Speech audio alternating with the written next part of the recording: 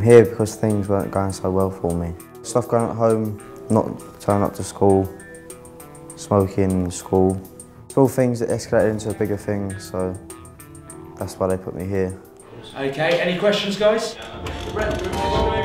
Layla suggested that I should join the Rugby Works. I feel more confident, more relaxed. Everyone's like a close family, everyone gets along.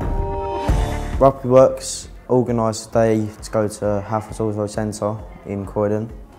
Uh, we serviced the trainers' cars, so I serviced Ed's car.